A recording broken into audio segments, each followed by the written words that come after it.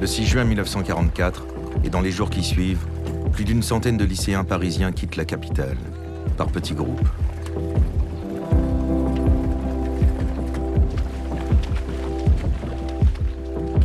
Ils filent vers le sud pour aller combattre les Allemands. L'aviation anglaise doit leur parachuter des armes dans les forêts de Sologne.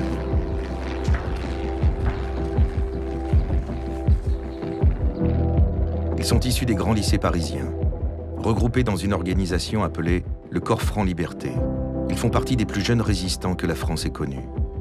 Ils se sont engagés dès 1940, certains dès l'âge de 14 ans, et souvent sans le dire à leurs parents.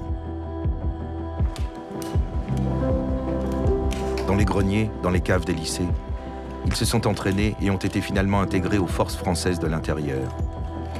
Extrêmement prudents, ils ignoraient pourtant une chose, un lycéen de leur réseau informait la Gestapo depuis plusieurs années.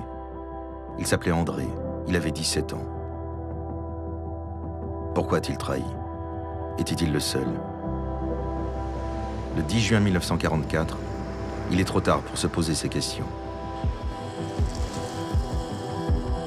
41 lycéens seront massacrés ce matin-là.